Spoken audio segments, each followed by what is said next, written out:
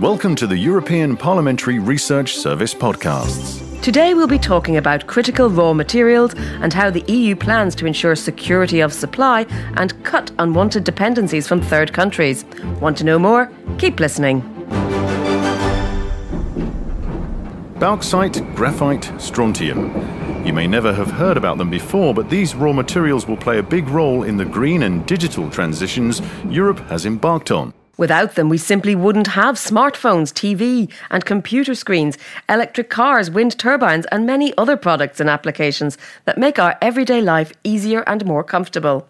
And COVID 19 has painfully showed how dependent we are on just such technological products. So, where's the problem? Well, the problem is if Europe is serious about becoming the first climate neutral continent by 2050 and the most digitally advanced, it needs to radically change its approach to raw materials.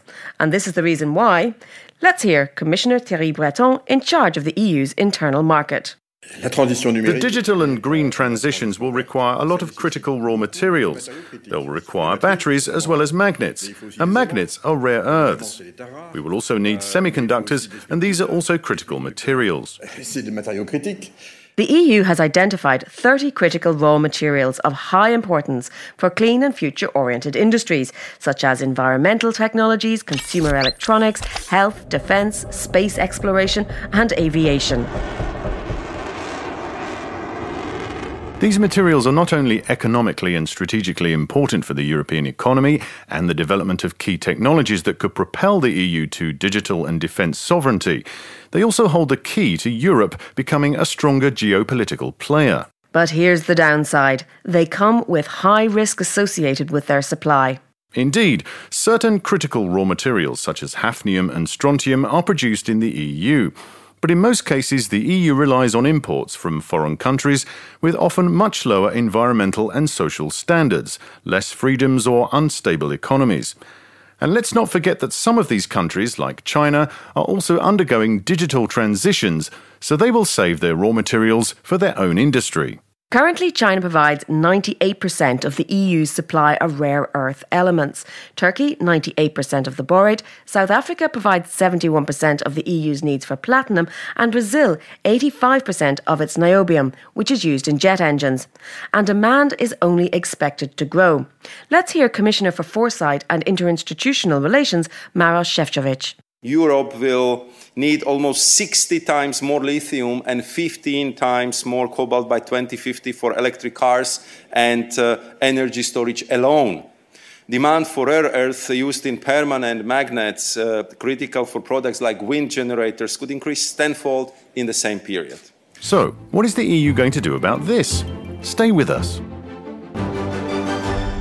While secure access to critical raw materials has been on the EU agenda for many years, the current Commission has made it one of the major priorities of its mandate. In September 2020, it launched a new action plan that tackles access to critical raw materials from many different angles, from developing resilient value chains for the European industry to supporting sustainable mining and processing of raw materials in the EU extraction reducing dependency through circular use of resources, sustainable products and innovation, and diversifying supply with responsible sourcing from third countries. A very concrete result of this new action plan is the European Raw Materials Alliance, launched in October 2020. But what's the idea behind it? Here's Commissioner Šefčovič.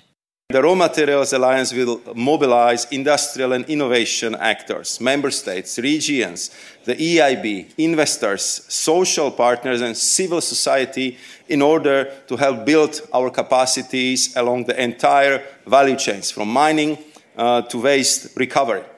But in order to secure access to critical raw materials and other advanced materials, closing the gaps in existing supply chains is only part of the solution. Indeed, this is why the EU is also determined to boost the development of domestic technologies, capabilities, and skills.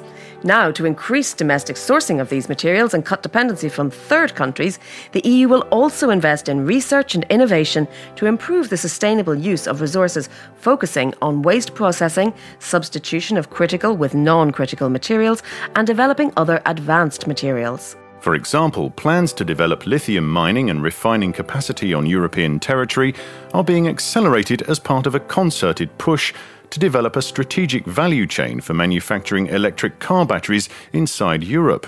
Does this point to a revival of mining in Europe?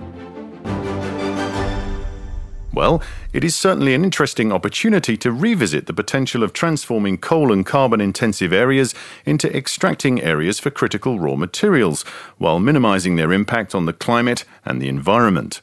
However, as domestic sourcing, even if it increases, won't cover Europe's future needs, the European Union will seek to forge strategic partnerships with third countries, offering rich resources to ensure diversified and secure access to global markets. These partnerships will cover the extraction, processing, and refining of critical raw materials while promoting values such as good governance, environmental protection and sustainability, and respect of basic human, social, and labour rights. The EU also plans to use its external financial instruments, such as development cooperation and neighbourhood funding, to leverage private investment and create a level playing field for European companies to participate in foreign projects. The European Parliament has been a long standing supporter of boosting critical raw material value chains to ensure the security of supply and weaken unwanted dependencies. But will the EU be able to achieve this? That remains to be seen.